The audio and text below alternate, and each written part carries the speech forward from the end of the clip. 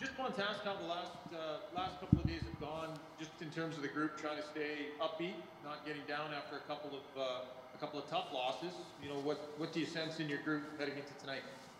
Um, no, I mean, every team goes through this uh, throughout the year. It's uh, it's two losses, obviously not the way the way we want them, but um, still, it's two losses, and we got a third chance of getting the job done today. And I mean, it's it's a long season. Every team goes through it. Based on the way the Leafs, you know, can put pressure on and, and the offense that they have, what's what's the most important thing as a defenseman to just make sure you're doing to try and alleviate some of that pressure? Well, I think it's good breakouts, and um, obviously net front battles has been it's been a big factor in these two games so far. So that's something we have to have to step up. Bob Stauffer, 630 CHED. Uh, good morning, Adam. Uh, just a, a, thought on how it maybe changes for you when you go from playing with uh, a veteran defenseman like Kris Russell to maybe when you had a little less experienced guys in there tonight. Looks like Caleb Jones. Uh, you played four or five games there in a row uh, with Lagesson.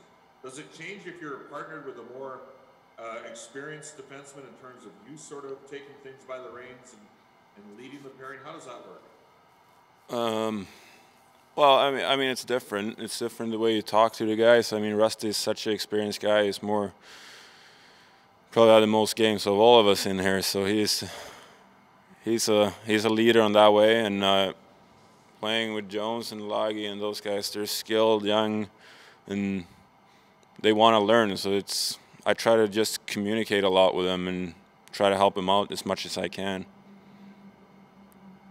Mark Spector, Sportsnet. Hey, Adam. Uh, you know what? Does it also become about pride? Like you guys are all proud guys, and the Leafs came in here and they beat you twice, and they beat you pretty good twice. Like I know you got to get your game together. The two points are important, but how much of this is is a bunch of guys that, that are proud and they don't want to get beat by the same team three times in a row? Yeah, I mean, that's a huge factor coming into tonight. I mean, it's losing twice, lose, losing three times in a row, um, something we really talked about. We we really don't want to do, and I mean, we still have a lot of energy in the group, and we just have to get the job done today. It's a two-one series, and I mean, we're still looking pretty good here, but we got to play a lot better overall. I think. Thank you. Derek Van Diest, Postmedia. Hey, Adam. Um, I just wanted to ask you about these two and three game series. As a player, do you enjoy them? Are you are you having fun playing the same team in a, in a series?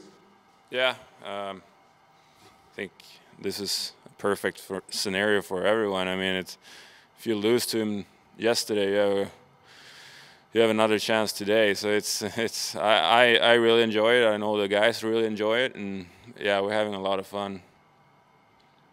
Would you would you like to see something like this continue when things get back to normal? I know it's it's kind of not out of your hands, but if you went on the road and played a team two or three times, would you like that? I would personally like that. Yeah. Jim Matheson, Postmedia. Uh, Adam, when you play a team three times in a row, though, I would presume that by the time you play them the third time, there's a lot of players on the other team you don't like. If you're playing them three straight games.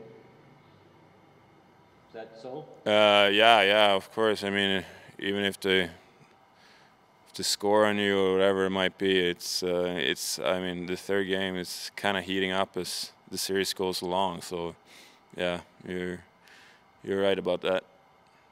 And when you play a team three straight games, is it easier than if you just watch video on a team? When you're playing a team three straight games, you get a better feel for the, the players on the opposing team than just watching them on video? I presume you do.